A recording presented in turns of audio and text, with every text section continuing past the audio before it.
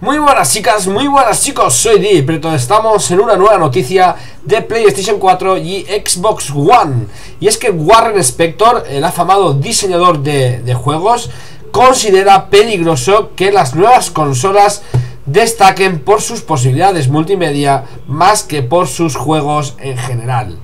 Y en una entrevista concedida a GameStop, Spector afirmó que las nuevas consolas eh, como dispositivos de entretenimiento suponen una idea peligrosa.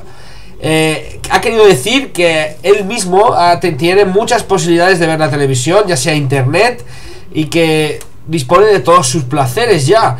Y que si quiere hacer una multi, multitarea mientras ve la televisión, él mismo decide eh, en cuál de sus aparatos quiere verlo. y si quiere hacer que una consola de nueva generación pues competir eh, la consola con el negocio de ocio de ocio doméstico pues dice que ya veremos qué ocurre en todo este mercado ya sea la PlayStation 4 como la Xbox One. Con respecto a Nintendo afirmó ya se me está tapando la nariz con respecto a Nintendo afirmó que eh, realmente necesitamos una compañía dedicada expresamente a los videojuegos no al ocio eh, de multimedia ni nada por el estilo sino que es una, compañía que está centrada en, el aspecto de los videojuegos y que es un peligro subestimarla totalmente.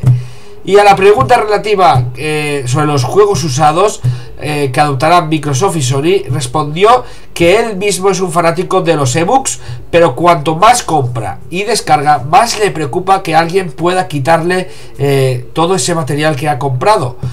Tal vez si bajara el precio de los ebooks, pues no le preocuparía tanto, pero conforme están ahora mismo, pues sí que le preocupa no ser el verdadero dueño de eh, esos libros, ¿no? sino estar ahí en la nube, por decirlo de alguna forma.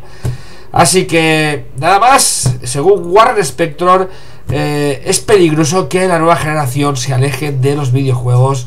Eh, que estamos acostumbrados y que debería de ser el centro de atención. Así que esperemos que durante este 3 esta perspectiva cambie y nada más, ya sabéis, comentar si estáis de acuerdo, like y favoritos. Y nos vemos en la siguiente. Chao.